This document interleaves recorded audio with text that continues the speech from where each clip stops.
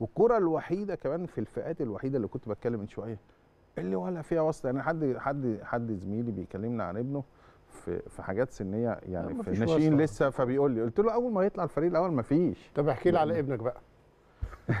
بيلعب يحب الكورة بيحب ابنه. أهلاوي إيه؟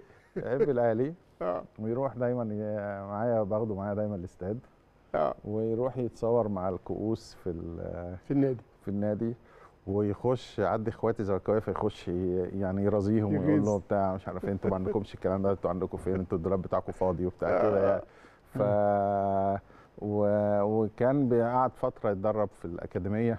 آه. دي من الحاجات برضو ما كانش هو متفاعل شوية فلما بدأ يلعب بقى عنده أصحابه وعنده كمان الولاد الصغيرين آه، ما بقاش عندهم يعني مزاجهم مش زينا يعني. ما آه. تلاقيش واحد عنده حماس لحاجة كده تلاقيهم بيتعاملوا مع الدنيا فترة. آه. فالكورة غيرت شخصيته ونضجت شخصيته خليته بقى عنده حماس لحاجة و...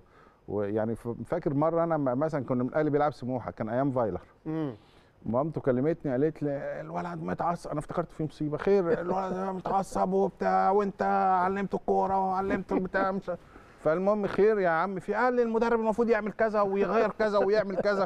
كان ال ال الاتحاد كسبان قول له حاضر 1-0. هقول لك. أهلا مش فاكر السموحة باين ولا الاتحاد آه. كسبان 1-0 بعديها اتعادل فكلمني فرديت عليه. تقول لي انت بترد عليه تاني؟ فبرد عليه. إيه يا عم؟ قال لي أنا شفت لما عمل تغييرات جابنا جون وإن شاء الله نجيب جون تاني.